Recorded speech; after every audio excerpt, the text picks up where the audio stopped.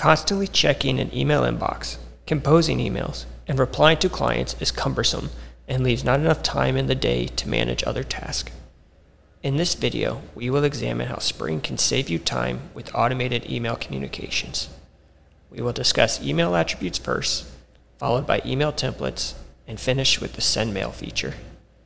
Before we begin, a quick note that emails larger than 20 megabytes often are not able to be sent, so be conscious of attachments and composing an email that is the appropriate file size.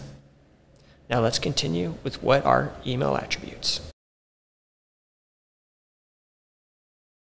Navigate to Email Attributes by clicking Email and Scheduled Posts in the sidebar, and then selecting Email Attributes in the drop-down menu. Before we dive in, let's discuss what an email attribute is. Attributes are information about clients, such as name, email, or purchase information that are stored in a secure database. When selecting attributes, you are selecting a set of attributes to use in an email template. Let's look at this more in depth. Click Create in the top right. Input the email type name, which describes the purpose of the email, such as welcome. Then select the set of attributes that best match the email's purpose. For a welcome, we will select Get User Details. Multiple template applicable allows this email template to be used for more than one purpose. Finally, put in an optional description if desired, and click Save.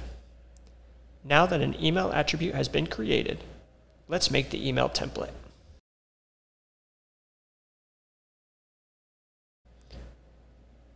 In the Email and Scheduled Post drop-down menu, select Email Templates. Click Create in the top right corner. Input a template code and template name, which can be the same thing, or code can be a shortened version of name. For code, we will type in welcome, and for template name, we will type in welcome as well. Input an optional brief description, and move on to Add Email Template.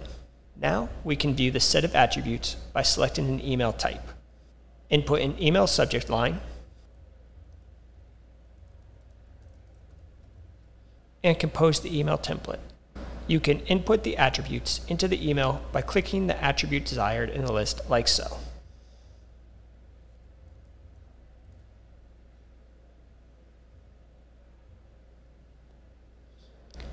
add any attachments, being aware of file size, and click Save.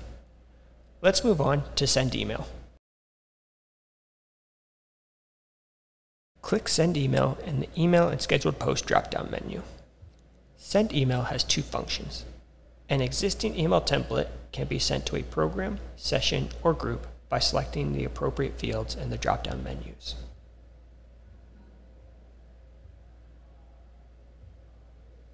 Or custom recipients can be checked and an existing email template can be sent to a select emails that are inputted in the to field and added to the recipient list.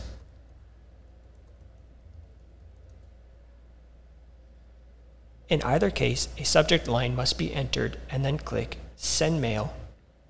A note to understand is the text editor is not functional and an email template must have been created beforehand to use the Send Email feature. The remaining item, Post Scheduler, under the email and scheduled post is discussed in another video, so be sure to check out that pivotal feature. That is it for this video, and I'll see you in the next one.